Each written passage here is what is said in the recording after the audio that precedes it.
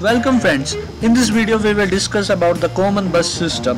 If you want this lecture in Hindi then it is also available in the playlist of computer organization and architecture. So let's explore it.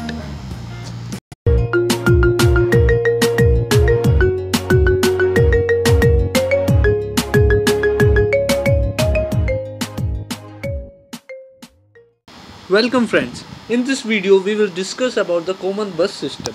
We just know that there are the some basic register which are used in common bus system. They are follows PC, program counter, AR, address register, IR, instruction register, TR, temporary register, OUTR for output, INPR for input and memory and DR, data register, AC, accumulator. These are the some registers are used in computer basics computer basics computer organization and as we know that these are the registers but how these registers arrange in computer? So these registers are arranged in computer in a particular manner in a so these registers are arranged in a system in a particular manner called common bus system. So i have to display i'm going to display a particular diagram uh, of this register how these registers are arranged. So as we know that data register the work of data register is dr is hold the memory address. And ar for which is uh, generally 12 bits and uh, hold the address of the memory.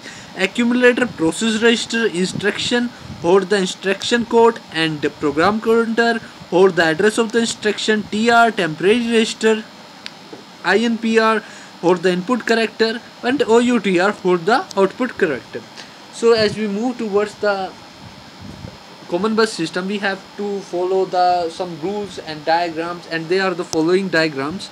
And this is the common bus system. In this we can say that the arrangement of data arrangement of the particular registers.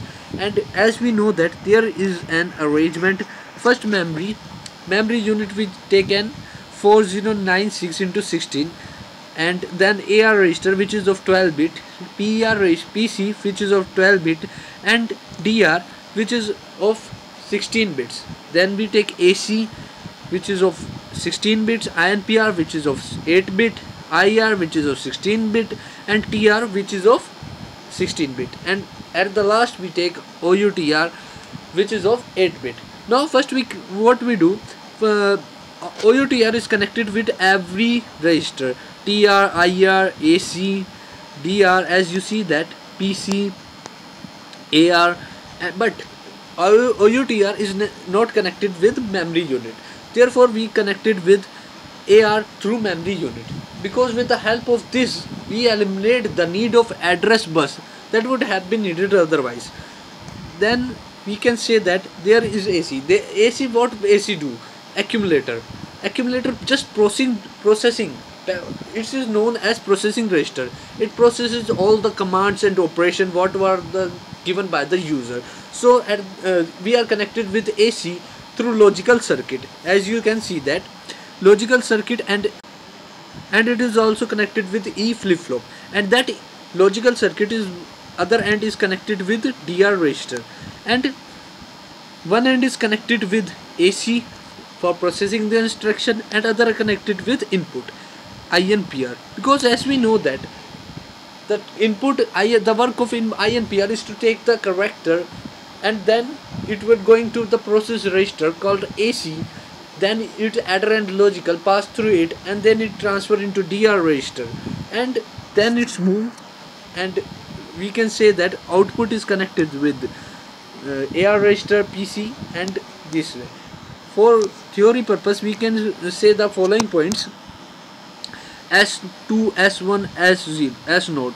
S0, S1, S2 are the selected register memory that would use the bus. These are the points and load. The, every register has three commands. One is load, second is increment and CL. CLR means to say clear. But what was the function of load? Load when enabling the particular register receive the data from the bus during the next clock pulse transaction and E flip-flop hold the hold the carrier DR data register AC IR TR have 16 bits as I already told and ARPC have 12 bit each since they hold a memory address.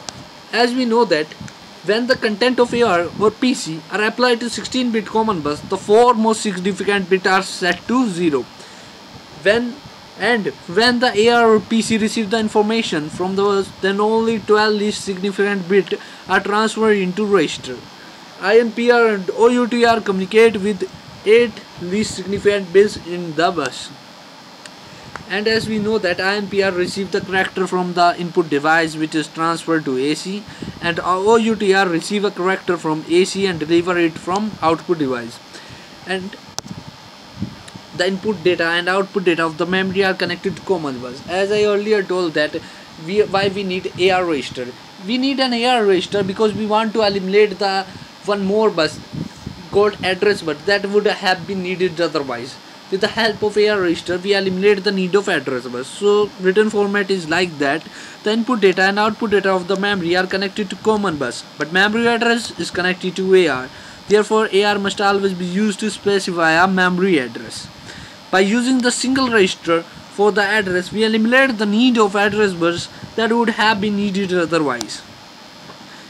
If we going to uh, operation perform like register to memory, then we can say that operation is write operation. If we go into operation perform like memory to register, then we can say that it is register. It is read operation.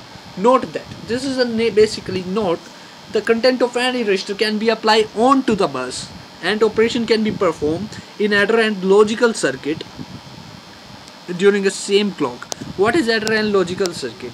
That perform action and operation all the processing work take place.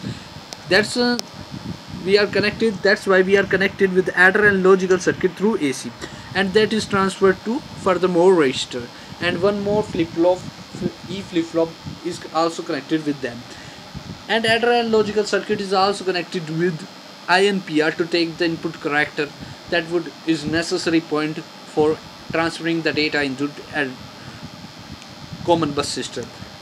So this is whole about the common bus system. I think you get it. If you like it then please hit the like button and please subscribe my channel. Thank you.